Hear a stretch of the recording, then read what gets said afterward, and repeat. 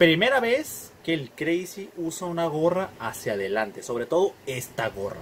Y qué mejor hacerlo que en la serie de últimas ediciones, ¿no? Así es que bienvenidos a un episodio más. Como pueden ver, estamos estrenando formato.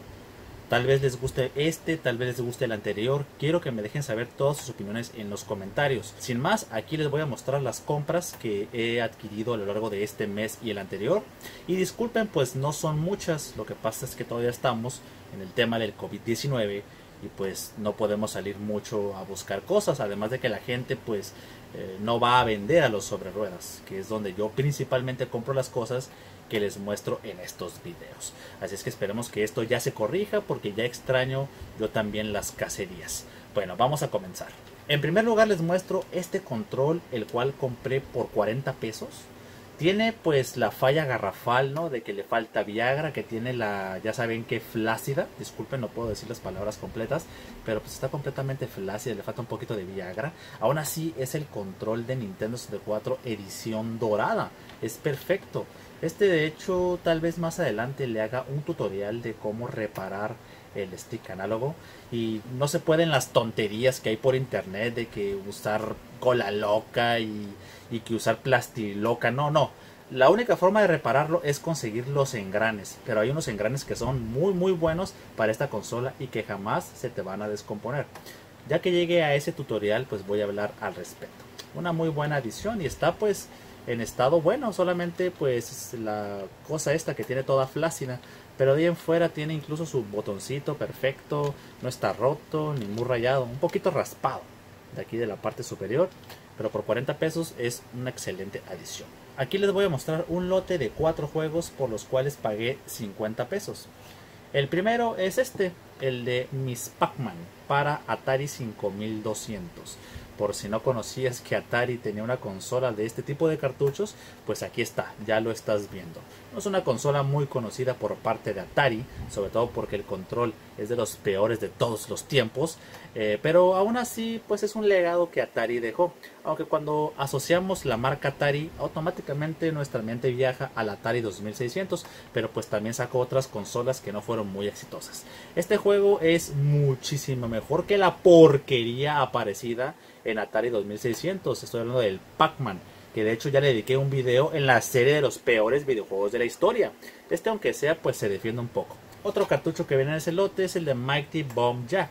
Este juego es de la NES, como es lógico, aunque no es de mis favoritos. Fíjense que yo conozco gente que adora este videojuego, pero pues a mí no me terminó de convencer es como el domingo, puede que le caiga bien a algunos y mal a otros, no sé, a mí no me terminó de convencer este videojuego. Otro juego que viene en ese lote es el de Hook. Este sí todos estamos de acuerdo, es un bodrio de juego.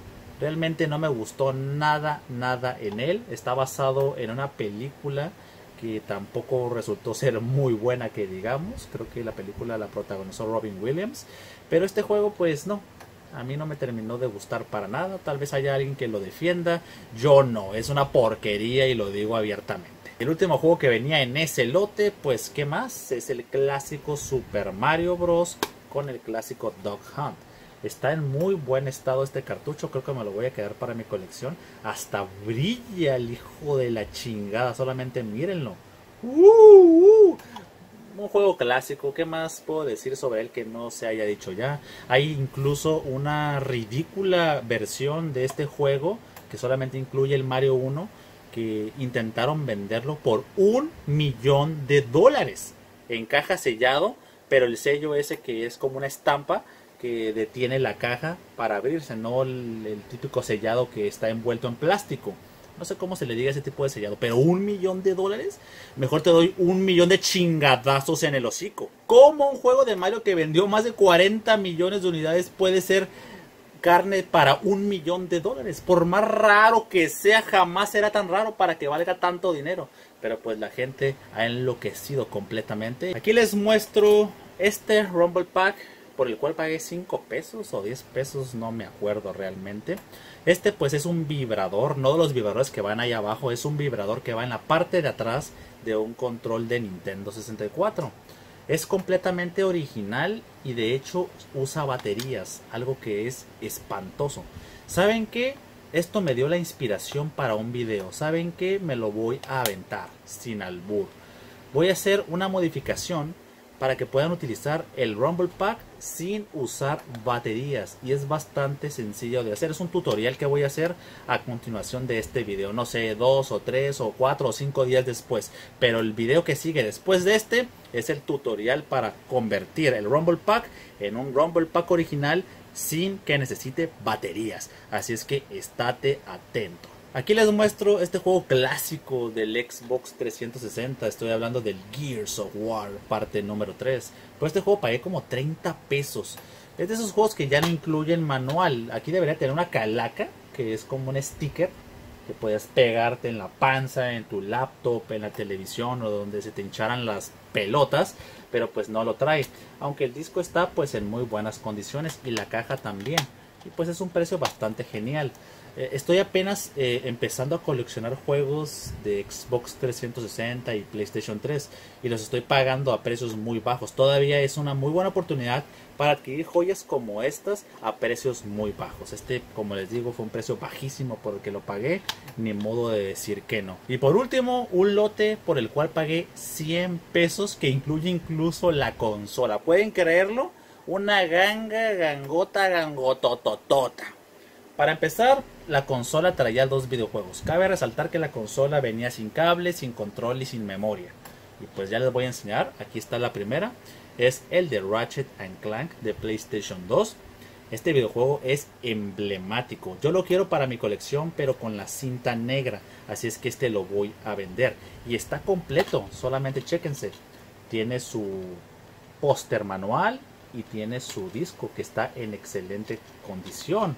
Pero pues yo lo quiero tener en cinta negra para mi colección. Así es que pues... De hecho ya están vendidos. Pero aún así los estoy mostrando en este video. Ratchet Clank. Una serie emblemática por parte de Sony. De la mano de Insomniac Games. El otro que venía en ese lote es God of War. Y fíjense la coincidencia. Los dos que venían con la consola eran eh, de, de Hits. Disculpen mi inglés. Apesta. Es decir, que segundas ediciones. Pues que ya vendieron más de un millón de copias. Eh, y yo digo que va acorde con la consola, ahorita van a ver por qué. Aquí controlamos al pelón Thanos. Bueno, hay varios pelones Thanos. Está Thanos, está Rick del precio de la historia y está Kratos, puros pelones. Los pelones, la revolución de los pelones, sin albur. Aquí tiene el videojuego. ¿Qué más puedo decir de God of War? Es un juego espectacular, es un juego que rompió moldes. Solamente chequen la, la miniatura de atrás. O sea, wow, este juego cuando lo jugué en su época realmente me surré en los pantalones. Me surré tanto que tuve que limpiarme con un rollo completo de papel de baño para poderme quitar la mierda del trasero. De tan chingón que estaba este videojuego. Y está completo. Como les digo, ya están vendidos tanto la consola como Ratchet Clank y el God of War. Este trae su manual y su disco, un poquito de cabeza, pero ahí lo colocamos para que esté en buen estado.